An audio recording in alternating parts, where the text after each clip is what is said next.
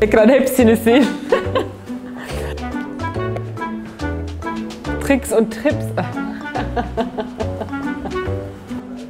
Hallo! Ich freue mich, dass ihr eingeschaltet habt. Ich hatte euch schon erzählt, dass ich bei Seda einige Tricks angewendet habe zum Thema natürlich Make-up. Und wir haben uns mit derselben Schminke geschminkt. Sie sah am Ende komplett anders aus als ich. Und sie meinte, Ebro, was machst du anders? Und das möchte ich euch heute zeigen. Es sind nur so ganz einfache Tricks, ähm, die ich euch jetzt zeige. Und ich würde sagen, lasst uns direkt starten. Punkt Nummer eins, super wichtig, Leute, bevor ihr überhaupt anfangt, es ist super, super wichtig, dass euer Gesicht gut hydriert ist und auch eure Augenpartie, wenn ihr zum Beispiel wie bei mir super trockene Augenpartie habt. Ähm, Seda hat zum Beispiel nie eine Feuchtigkeitscreme oder auch unter ihren Augen nie ein Augenserum verwendet. Da könnt ihr, wenn ihr zum Beispiel äh, super auf Naturkosmetik steht, das benutze ich auch sehr gerne hier in der Firma, das ist auch schon halb leer. Das ist von Rosens, die Supreme Hydration und das ist fürs Auge, das ist auch so ein Serum, das könnt ihr dann auch hier ganz leicht. Und damit solltet ihr starten. Ich mache das immer so, ich wasche mein Gesicht morgens, dann packe ich dieses, die Feuchtigkeitscreme drauf, dann meinen Sonnenschutz und dann ziehe ich mich erst um. Warum? Weil es hat dann auch 10 Minuten Zeit, ein bisschen einzuwirken und dann starte ich erst mit dem Make-up. Also lasst eure Feuchtigkeitscreme auch Zeit einzuwirken. Jetzt kommen wir zum interessanten Teil. Am Seda hatten die eine Make-up Base äh, benutzt. Muss man im Grunde auch nicht, aber ich finde, das Make-up hält einfach schöner und das Make-up sitzt einfach schöner. Und da habe ich das hier, Leute, von Nimja, von Nikki Tutorials. Leute, ich liebe das. Das hinterlässt so einen schönen Glow unterm Make-up. Weißt du was, ich bestelle mir jetzt noch mal zwei nach. ich habe nämlich gerade gesehen, auch ihre Lipglosser sind da. Und da habe ich mir direkt zwei Stück bei Douglas eingepackt. Also wenn ich etwas liebe, dann stocke ich das direkt auf, weil ich immer Angst habe, dass ich das dann nicht mehr erhalten kann. Und schaut mal, was diese Creme macht. Da solltet ihr auch darauf achten, ähm, es gibt äh, Base, die auf Silikonbasis sind und es gibt Bases, die halt auf Wasserbasis zum Beispiel äh, sind. Da sollte euer Make-up zum Beispiel auch mit der Base dann zusammenpassen. Das heißt, ihr braucht dann auch zum Beispiel Make-up, was dann auch Silikonbasis entstanden ist. Versteht ihr, was ich meine? Und diese Creme ich könnte mich reinsetzen. Ich weiß nicht, wonach das riecht, nach Vanille. Also es ist einfach ein schönes Gefühl auf der Haut. Und das trage ich immer auf. So, dann lass uns das doch mal machen. Und übrigens auch die Augenpartie. Und dem geben wir auch eine Minute Zeit einzuwirken, ja? Next ich glaube, Seda hatte ihren Schwamm nicht angefeuchtet. Sie hat mit einem trockenen Schwamm, geht natürlich nicht, Leute, ihr braucht natürlich etwas, womit ihr arbeiten könnt. Da presse ich den aus, richtig, also ich mache den voll nass, presse ich aus und dann mache ich das mit dem Handtuch trocken. Also es sollte nur wirklich so gefühlt ein bisschen nass sein. Wenn ihr Bock habt, könnt ihr übrigens auch noch ein Setting Spray drauf sprühen. Das ist hier von äh, Rosens, das mit Hyaluron. Das liebe ich auch einfach so zwischendurch mal zu sprühen, dass ihr einen schön angefeuchteten Schwamm habt. Jetzt kommen wir zum Make-up, ja? Mit einem trockenen Schwamm funktioniert funktioniert das natürlich nicht. Was ich mache ist, ich schüttel die Foundation richtig schön. Shake, shake, shake. shake, shake, shake. Ich trage das direkt mit den Händen auf, Leute. Weil dann habe ich das Gefühl, ich arbeite es richtig ein. Warte, ich zeige es euch einmal. Das heißt, die Augenpartie lasse ich aus, weil da kommt ja nochmal Concealer drauf. Und ihr sagt jetzt wahrscheinlich, was ist das denn? Was sind das für Techniken? Ja, ihr werdet aber merken, dass das tatsächlich dann besser in der Haut äh, eingearbeitet wird, als wie wenn ihr das nicht macht. Den Rest, den ihr auf dem Finger habt, einfach hier abstreifen. Ich glaube, ich bin euch jetzt auch ein bisschen näher gekommen. Und dann, damit das nicht super schnell austrocknet und ihr das noch einarbeiten könnt, könnt ihr wieder ein Spray nehmen. Dann befeuchtet ihr das kurz. Und wenn ihr Lust habt, könnt ihr in der Zwischenzeit auch Concealer schon auftragen. Das mache ich aber nicht. Ich arbeite erstmal Make-up ein und dann klopfende Bewegung. Mehr mache ich da auch gar nicht. Und wenn ihr hier zum Beispiel vergrößerte Poren habt, könnt ihr optional vorher so ein Pore-Blur, irgendwas nehmen, womit ihr das ja, ein bisschen abdichten könnt. Aber ich mache das nicht, weil ich das mit dem Puder dann nachher mache. So, die Augenpartie habe ich jetzt ausgelassen. Warum? Ich habe zum Beispiel eine sehr trockene Augenpartie. Ihr könnt übrigens das Make-up auch schichten. Also das heißt, das ist jetzt die erste Schicht. Wenn ihr sagt, ich brauche hier noch ein bisschen, dann könnt ihr hier noch ein bisschen einfach mehr machen und dann auch einarbeiten. Das ist übrigens Dile Beige von Chanel in der Farbe BD31. Ich glaube, die passt so ganz gut eigentlich. Ich mache auch noch mal ein bisschen hier immer über die Augenlider. Seht ihr den Unterschied, wenn ich das Augenlid nicht abdecke? Wie wenn ihr zum Beispiel ein nudiges Make-up tragen wollt oder einfach keinen Lidschatten verwenden wollt. Guckt mal.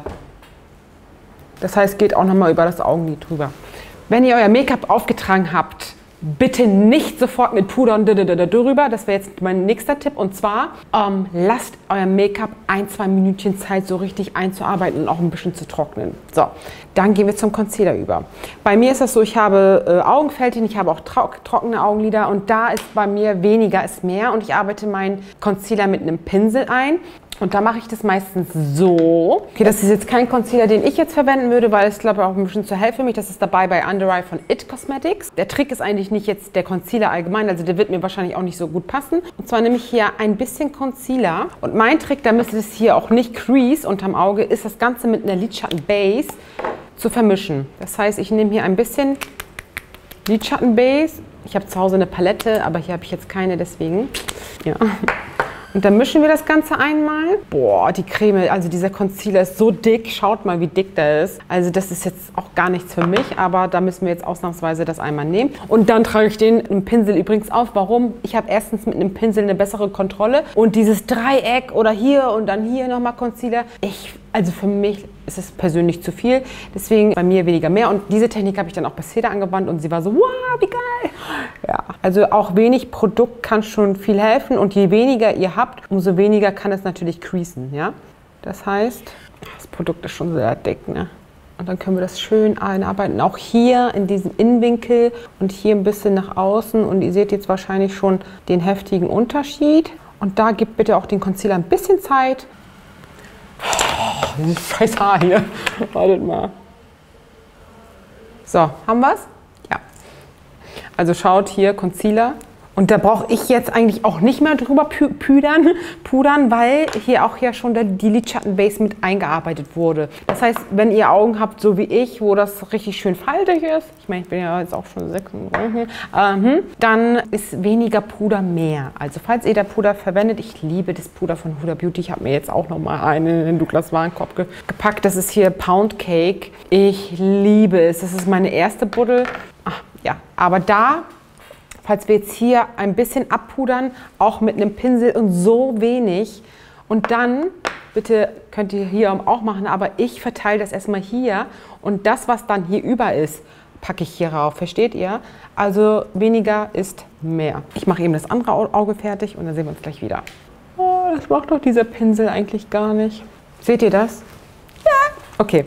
Dann gehen wir weiter Richtung Puder. Seda hat, glaube ich, kein Puder verwendet, falls ich mich nicht täusche. Das geht natürlich nicht. Es sei denn, ihr möchtet das so cremig belassen, dann könnt ihr das so belassen. Aber ich puder mit dem Charlotte Tilbury Airbrush Flawless Finish ab. Und zwar mache ich das dann auch mit diesem Pinsel. Das ist tatsächlich wie so ein Filter auf der Haut. Und ich benutze auch nicht mehr so viel Puder wie vorher, aber schaut mal den Unterschied. Auch wieder hier. Entweder mit einem Pinsel oder ihr könnt diese Schwämme hierfür benutzen.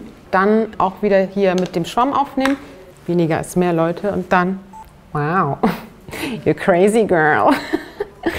ja. Es ist schwierig, ein Produkt wie das jetzt hier zu verteilen, wenn ihr kein Puder drauf gemacht habt. Versteht ihr das? Und Cedar dann immer verteilt, verteilt, verteilt und das war super fleckig. Und Cedar, ohne Puder wird das auch nichts. Das heißt, Puder hier ein bisschen ab. Da mache ich nämlich auch nicht so viel. Ich habe hier einfach den Ebelin-Pinsel. Die sollten auch mal wieder gereinigt werden. Und da gehe ich in meinen Pound Cake rein von Huda Beauty. Wieder also es sollte nur so wenig wie möglich sein. Ein Hauch von nichts sozusagen. Einfach nur, dass euer Puder gleich ein bisschen besser teilt werden kann. Und damit ihr euch ein bisschen diesen Glanz aus dem Gesicht nimmt. Ich glänze immer super, super gerne, daher, ja. Kommen wir zum Rouge oder zum Bronzer über. So, Cedar, wenn euer Make-up nicht richtig gesettet wird und ihr mit einem Puderpinsel, das wäre jetzt mein nächster Trick, so macht, dann ist die Gefahr super, super groß, dass ihr euer Make-up hin und her schiebt sozusagen. Um das zu vermeiden, empfehle ich euch erstmal, arbeitet mit der Spitze des Pinsels. Mit einer ganz leichten Hand. Das heißt, nicht hier vorne am Pinsel greifen und wie eine Wilde, sondern am Ende des Pinsels, weil dann habt ihr einfach mehr Kontrolle. Und dann tap, tap, tap. Ja, also nicht hin und her wischen, sondern tabben. Ihr könnt das Ganze dann auch ein bisschen aufbauen, aber ähm, wir wollen unser Make-up nicht ruinieren und deswegen empfehle ich euch diese Tab-Bewegung, weil es ist dann einfach einfacher und sieht dann wahrscheinlich auch schöner verblendet aus, wenn ihr das in diesen Tab-Bewegungen macht. Und falls ihr eben gerade aufgepasst habt, mit dem Puderpinsel habe ich genau dasselbe gemacht. Das heißt, es gilt nicht nur für den Bronzer und für den Rouge. Auch da habe ich getappt und nicht... Äh. Machen wir nochmal weiter könnt natürlich auch leichte runde Bewegungen machen, aber da solltet ihr einfach darauf achten, dass euer Make-up schon getrocknet ist. Dasselbe gilt natürlich auch für hier oben und für die anderen, all die anderen Bereiche, die ihr im Gesicht sozusagen habt. Trick, noch ein kleiner Trick, wenn ihr hier konturiert mit einem Bronzerpuder, dann habt ihr hier entsteht so ein kleines Dreieck und dann sieht das alles ein bisschen slimmer aus. Genau, mache ich super gerne. Dasselbe gilt natürlich auch für euer Rouge. Ich mache das immer so, dass ich genau dieselbe Technik wieder anwende. Und dann, ich arbeite momentan hier ein bisschen über dem Wangenknochen und auch hier tap, tap, tap. Und wenn ihr das Ganze jetzt noch ein bisschen eingeblendet haben wollt, dann könnt ihr euren Puderpinsel von vorhin noch benutzen und das alles ineinander sozusagen einblenden. So, jetzt habe ich noch einen kleinen Tipp für euch. Dann hat es jeder so ein bisschen das Problem mit ihrer Nasenkontur und ich habe zu ihr gesagt, mach doch es einfach mit den Fingern. Da habe ich hier das Cotton Powder von Misha. Cotton Kontur. Ja, und da mache ich es einfach mit den Fingern, Leute. Das heißt, ich gehe mit dem Finger rein. Damit geht es am besten. Schaut. Mehr braucht ihr da nicht. Also das ist jetzt super easy. Ihr könnt es auch so machen, dass ihr zwei Finger nehmt und dann so. Da habt ihr einfach die beste Kontrolle und es wird immer äh, symmetrisch sozusagen. Dann nehme ich noch hier ein bisschen unter die Nase. Und dann bisschen Highlight. Babys, kommen wir zu den Augen. Äh, was ich noch sagen wollte, wenn ihr eine Foundation habt, die Foundation sollte natürlich euren Ton anpassen. Ich glaube, die passt jetzt so ganz gut. Aber falls ihr das Problem habt, ah, die ist zu hell, ah, die ist zu dunkel, dann gibt es übrigens auch von Got diese Oh My Tan oder Oh My Light Sachen, die, womit man die Foundation entweder dunkler oder heller machen kann. Das wäre jetzt auch nochmal ein Tipp. Ich habe meine Augenbrauen gemacht. Es ist kein Muss, es ist auch nicht meine erste Wahl jetzt in, in Augenbrauenprodukten, aber im Gesamtbild finde ich, sieht es immer schöner aus, wenn die Augenbrauen gekämmt sind. Und dafür, dafür nehme ich das von Got To Be und kämme das hier einmal rüber, so dass das einfach alles ebenmäßig aussieht. Sieht man einen Unterschied? Ich denke schon. Und auch bei dem Got To Be, Leute, weniger ist mehr. Die Erfahrung habe ich definitiv gemacht. So, wenn ihr eure Augen zum Strahlen bringen möchtet, könnt ihr übrigens auch noch so einen hellen Kajalstift benutzen. Aber ich benutze immer weniger. Ja, Je älter ich werde, habe ich das Gefühl, umso weniger benutze ich. Aber gleich kommen wir zu den Lippen. Jetzt machen wir nochmal die Augen. Da habe ich ein ganz spezielles Produkt und das Produkt liebe ich auch über alles. Das ist von Labella, die Lash Designer von Deloria. Genau, und ich merke gerade einfach, dass mein, meine Wimpernzange von ihr auch schon ein bisschen dreckig ist. Also die müsste ich jetzt auch mal ein bisschen säubern. Die funktioniert einfach sehr gut. Also für den Look, die Wimpernzange ist einfach auch sehr gut. Die benutze ich jetzt. Also ich habe das Gefühl, diese Wimperntusche funktioniert nur mit ihrer eigenen Wimpernzange. Ich habe auch andere Wimpernzangen, aber irgendwie sind die nicht so wie die. so, und da hat sie natürlich auch wieder eine Tuschregel. Dafür solltet ihr einfach mal bei ihr auf Instagram vorbeischauen. Sie hält das ja nur ganz leicht so. Das ist ein Tusch. Ja. Ich liebe diese Inner Corner Highlights. Das waren jetzt drei Tusches. Also so sieht die Wimperntusche dann aus. Ich liebe sie. Ich habe auch noch ein, glaube ich, Backup. Und wenn ihr das gemacht habt, könnt ihr dann halt die Wimpernzange hier nochmal kurz ranhalten, dass das dann auch so nach oben hin trocknet. Ich mache nur eine Schicht, also diese Schicht und dann ist, reicht es bei mir. Sie neigt ein bisschen zum Klumpen, wenn ihr zu viel oder wenn ihr auf diese normale Weise tuscht. Und da gibt es halt noch so ein Tool, das heißt, ihr könnt damit eure Wimpern sozusagen kämmen. Also nur damit ihr Bescheid wisst, das ist übrigens von Catrice. Ich mache eben das andere Auge fertig und dann gehen wir zu den Lippen über. Ich habe am Auge ein bisschen geschlampt, sorry, aber so sieht es dann aus, wenn ich so in der Regel fertig bin. Cedar hat nie, nie, nie einen Lip Liner benutzt. Mein Lieblings ist Nana Naked, ist schon wieder weg, weil ich den so oft benutze und ich weiß immer nicht, wo ich den dann hin tue. Aber der ist irgendwie auch nicht erhältlich. Also ich möchte den gerne bestellen, aber irgendwie ist der Nana Naked Banana Lip Liner irgendwie nicht mehr da. Warum? Jetzt habe ich hier Prosecco Ready benutzt einen Lip Liner, Leute. Das sieht einfach schöner und definierter, definierter sehen dann eure Lippen aus. Und äh, da könnt ihr zum Beispiel als Hilfe so machen. Und da male ich tatsächlich auch nur ähm, in der Lippenmitte über sozusagen. Und hier gehe ich dann sozusagen wieder meine eigene Linie lang. Bei der unteren Lippe zeichne ich nicht bis zum Ende, weil es meine Lippe runterzieht. Das heißt, hier